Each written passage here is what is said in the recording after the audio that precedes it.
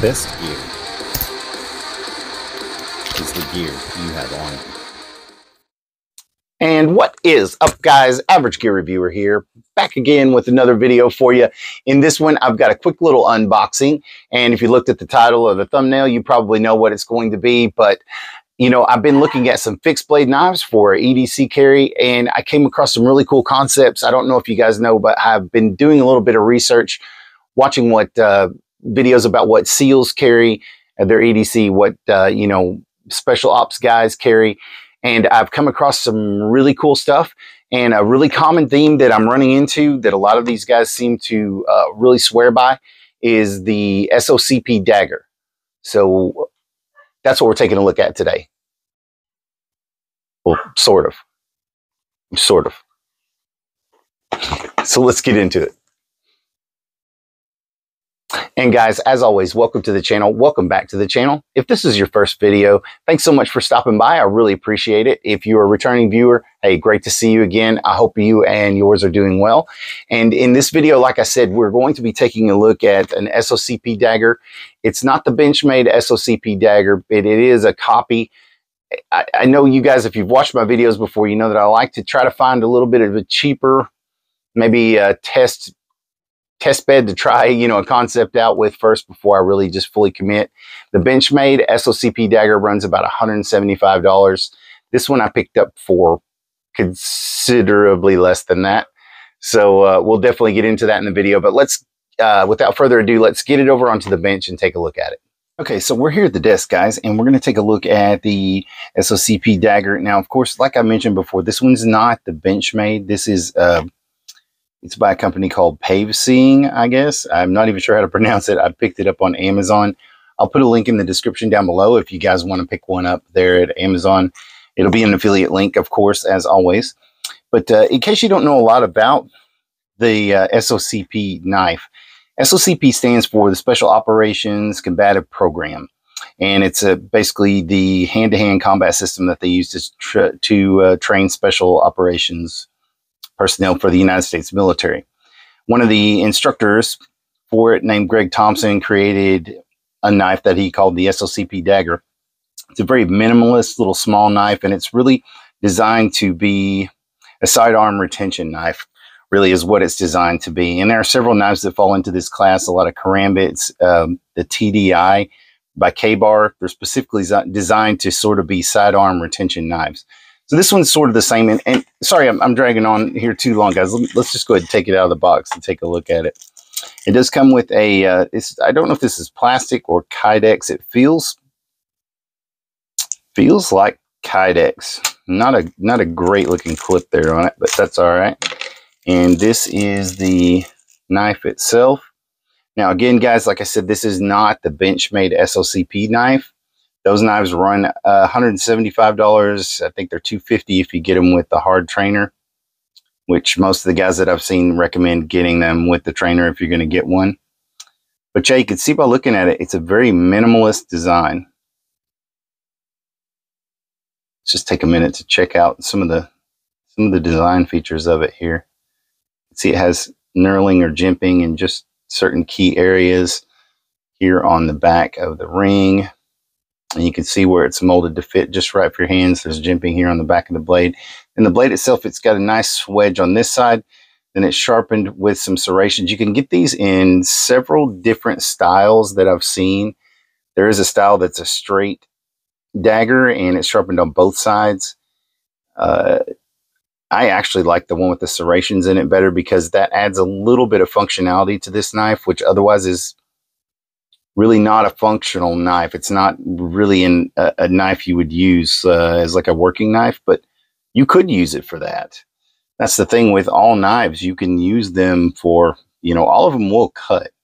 It's just, you know, what they're designed to do. The original SOCP dagger is designed to be a piercing weapon, so they don't come super sharp right out of the box. This one doesn't. Of course, the serrations are sharp. You could definitely cut some rope or seat belt or whatever with those. Um, it lets you get a good look at those. But uh, it's made for piercing, and and you can see from the point, the tip of it, that it would be very good for that. And of course, this uh, ring here helps you keep that retention. keeps it in your hand. And a lot of the guys I've seen talking about it said the good thing about the ring too is it's made so large so that even if you have gloves, you know, like a lot of the special operations guys are going to be wearing, uh, you know, the bump Kevlar gloves, still get your finger in that. And with it being such a low profile design, and it doesn't really look a lot like a knife, it's very easy to put in a pocket or put on a pack or plate carrier, anything like that that has a clip, clip it to your belt, whatever. And uh, you've just got instant deployment there and it's automatically in your hand. Now, like I mentioned before in the video, these, these knives are designed to be a sidearm retention knife. If you're not familiar with what those are, if you're, let's say you're a policeman, you're carrying a pistol on your right hand side, then on your left hand side, you might carry something like this. You might carry something like, uh, well, hold on a second. Let's grab one here. Okay, guys. So uh, a good example of something like uh, like a sidearm retention knife. A good example of that is going to be something like the uh, Cold Steel Double Agent. Your, you know, you know, more your karambit style knives, where these are made to be very easy, easy to retain. That's yeah. going to be hard to take out of somebody's hand. You know, it's it's made for retention, and what those are useful for, like I said, if you're carrying right-handed, something like this K-Bar TDI. Well, this one's not a K-Bar. This is a cheaper version that I was trying out. Again, I think you guys might have seen the unboxing of this one. I'll, I'll put a link for it up here if you missed that one. It's a neat little knife. Uh, you know, something like the K-Bar TDI. It's useful for that, that grab on the offhand. So, and it's something super easy to use.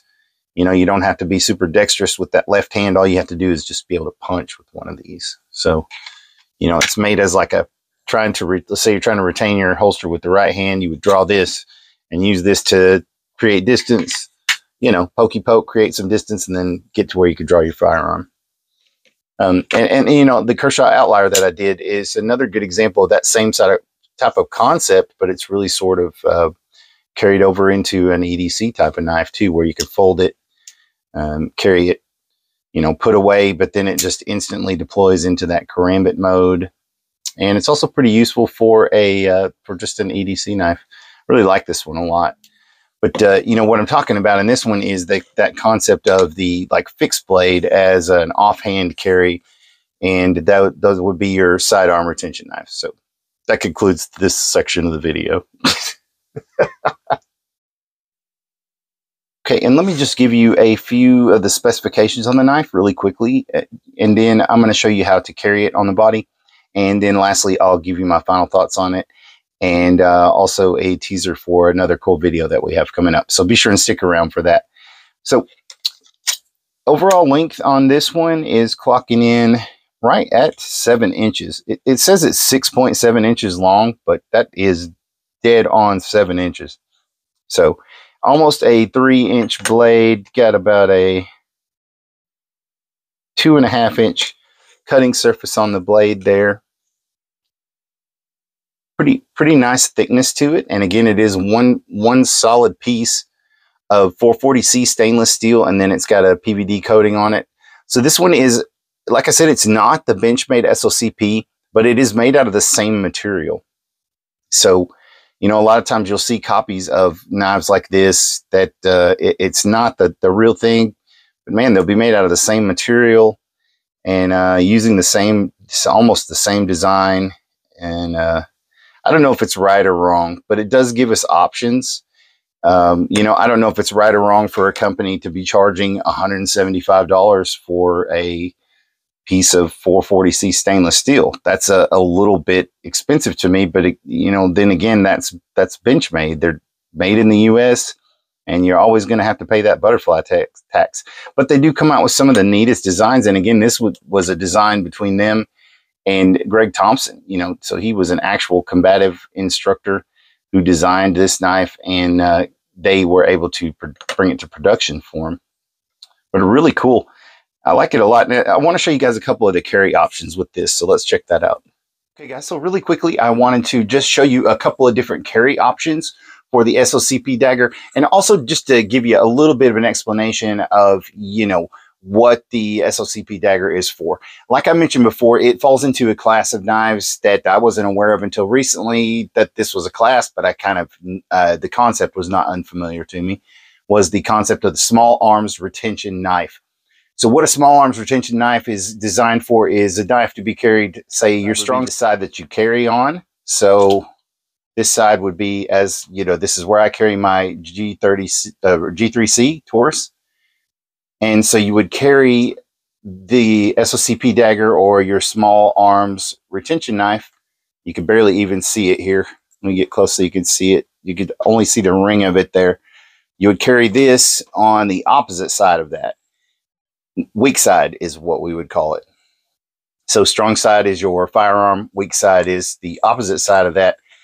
You know, a lot of people will carry just a regular, you know, pocket knife, EDC knife on the right hand side. And a lot of the, the videos that I saw, you know, the former special ops guys and SEALs, they all carried some sort of small EDC knife, but they also carried some sort of small arms retention knife. And it makes a lot of sense if you think about you're carrying on the right side. Well, let's say somebody is really close to you and you have to create space. You don't have enough room to draw well, let's say you got to step back. You're trying to retain your own firearm from maybe somebody trying to take it. So what this allows you to do is you can draw this and you can, you know, it allows you to create space and then to be able to draw your weapon. One of the cool things, and, and this is unloaded, of course, guys, as always, it's unloaded and I just keep it on safe just to be sure.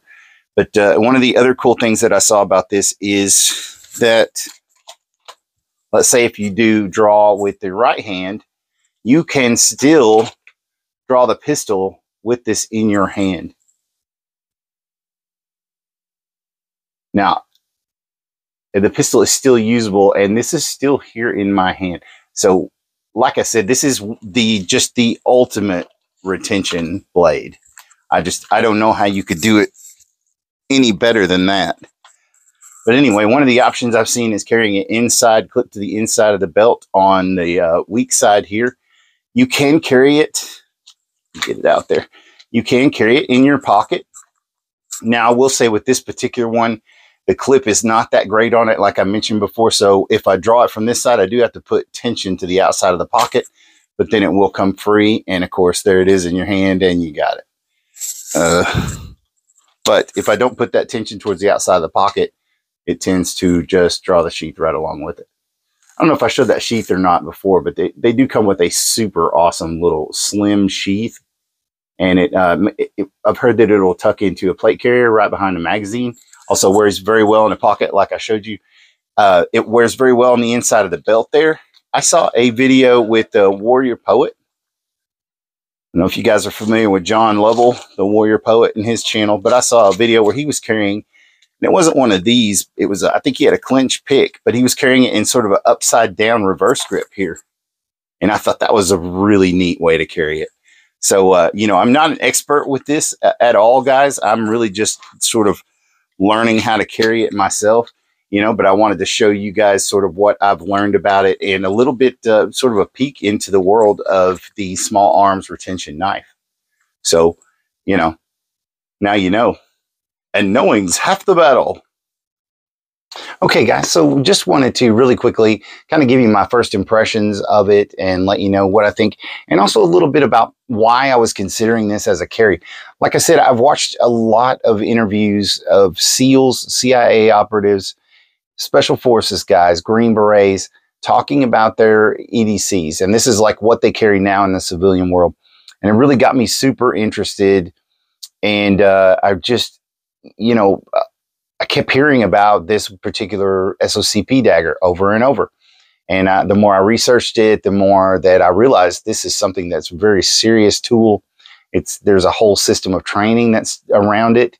So if you do decide to get one, there's a whole world there that you can get into that I didn't even realize existed. And you know, we find this a lot of times with EDC gear. We could find these little rabbit holes that we were completely unaware of. And, and I'm telling you guys, the SOCP dagger was definitely one of those things for me that just sent me down this whole rabbit hole of, of learning some new stuff. And I've got some techniques that I want to try out. And uh, I definitely want to start trying to carry something like that. Uh, you know, I'm not sure if the SOCP will be exactly what I settle on, but for right now, I'm going to try carrying it and just see how that works out. But uh, anyway, guys, if you have a SOCP dagger and a trainer, or if you just have the dagger, let me know in the comments down below. Let me know what you think about it. Are you training with it? I would love to find it somewhere around me that did some type of SOCP training. Um, that would be super cool. But uh, as far as I know, there's not anywhere near here, but I might have to check into that.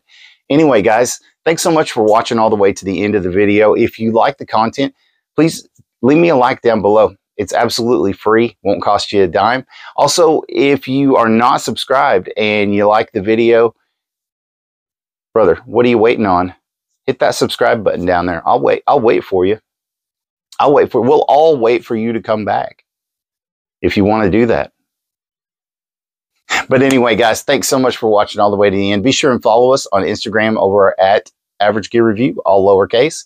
And stay tuned for the TGIF Pocket Dump coming up Friday. And hopefully we'll see you guys there. Average Gear Reviewer, I'm out of here. oh, yeah, guys. And last but not least, I bet you thought that I forgot about the big announcement. And being perfectly honest with you, I did forget about it until just now. But I didn't really forget about it because here it is in the video. So what I wanted to talk about, guys, all the stuff that I have stacked up over here, this is all going to be part of our big 500 subscriber giveaway that we've got coming up. I can't wait to do this, guys. I'm really thinking about doing a live, just doing a live giveaway. That way I could get on there and interact with you. You know, we could uh, talk in the chat and stuff like that. I thought that would be kind of cool um, just sort of have a party as my way of saying thanks to all of you, everybody who subscribed. You know, I really appreciate you guys so much. If you're not subscribed, hit that subscribe button. Make sure you have your notifications turned on so that you get notified because we are going to be doing subscriber giveaway. I've been waiting on a couple of people to send some things to me, and I really, I really, really want to do this giveaway. Um, and I've been waiting on a couple of people who wanted to send a couple of things in to, to show some love to you guys. And I've got one, I believe, that's coming in in the next week or so. So I'm shooting tentatively for two weeks from now. Don't hold me to that because I can't promise for sure, but that's what I'm going to try to do. I swear I'm going to try so hard to do it, guys. But we do have cool prizes already. Um, I'm going to give away a couple of the uh, emergency ponchos which I've got an unboxing video coming up on these. Great item to have in a bug out bag or survival kit. A lot of uses you can get out of one of these. Um, we've got a couple of really cool things from Charval. We got a tactical flashlight and a nice, really heavy duty multifunctional shovel. Cool little swag pack from Flytanium. We've got quite a few things from them. Um, I've got some stickers from my good buddy BEEDC that we're going to be throwing in with uh, every everybody that wins anything. I'm going to throw some of those stickers in for you. And our grand prize, of course, is going to be a Demko AD 20.5. That's right, folks. You can win one for free. All you have to do, make sure you're subscribed and make sure you got your notifications turned on so you know when we're going to do the giveaway. So anyway, guys, that's all I've got for you. Thanks so much for hanging out with me again. Remember, always be carrying, and the best gear is the gear you have on you.